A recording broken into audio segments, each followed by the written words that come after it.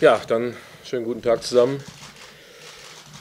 Was soll man großartig sagen, wenn man neuer Cheftrainer wird bei einem Traditionsverein? Ich glaube, das brauche ich nicht herausheben, gerade in der Region, die Bedeutung des ersten FC Nürnberg und gerade auch für die Fans. Ich glaube, das war mit ein ganz, ganz wichtiger Punkt für mich bei der Auswahl meines neuen Arbeitgebers, dass ich eben weiß, dass hier in Nürnberg der Fußball gelebt wird, dass Emotionen dabei sind. Ja, und dass es eine schwierige Situation ist, äh, da brauche ich nicht darauf hinweisen. Ja, da braucht jeder nur auf die Tabelle gucken. Aber das ist gerade der Reiz, der es ausmacht, nach Nürnberg zu kommen. Ja, ich denke, dass ich mir die Aufgabe hätte leichter machen können oder das neue Aufgabengebiet leichter hätte machen können, indem ich dachte, ich mache was Sicheres oder ich warte weiter ab.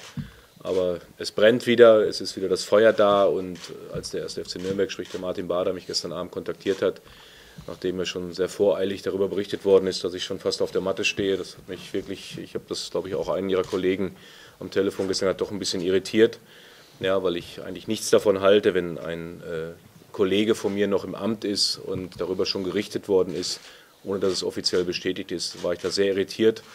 Deshalb äh, bitte auch äh, da ein bisschen um Vergebung, dass ich gestern nicht mehr ans Telefon gegangen bin, weil es ging mir da ein bisschen zu weit alles und viel zu schnell. Weil ich bin eigentlich dafür da, dass wenn Fakten geschaffen worden sind, dann stelle ich mich gerne, vorher allerdings nicht. Und es tut mir auch leid, wenn ich sehe, dass Herr Michael Oenning seinen Posten jetzt räumen muss, obwohl ich davon profitiere, muss ich ganz ehrlich sagen. Ich glaube, der Michael hat im letzten Jahr hier eine hervorragende Arbeit abgeliefert, die darin gemündet ist, dass der Club überhaupt wieder Erstliga spielen konnte. Ja, dass ich jetzt davon profitiere, dass es zum Schluss leider oder jetzt zum Ende der Vorrunde nicht mehr so gelaufen ist. Äh, gut, das kann man als Glück bezeichnen. Ich denke einfach, dass ich dem Michael hier an dieser Stelle erstmal für seinen weiteren Weg alles Gute wünsche. Ich hoffe, dass ich das, was er angefangen hat, denn ich glaube, es ist eine gewisse Philosophie eingezogen, auch dadurch, dass man beim Club wieder auch verstärkt auf jüngere Spieler gesetzt hat. Das ist nicht immer der Weisheitsletzter Schluss. Ja, die müssen auch gut geführt werden, diese jungen Spieler. Gar keine Frage, da braucht man auch den anderen Erfahrenen dafür. Ja, aber ich glaube, dass das der Weg ist, den der Club beschreiten kann und wird. Und wer meine Vergangenheit kennt, weiß, dass das auch immer so ein bisschen meine Philosophie war bei dem Verein, wo ich gearbeitet habe.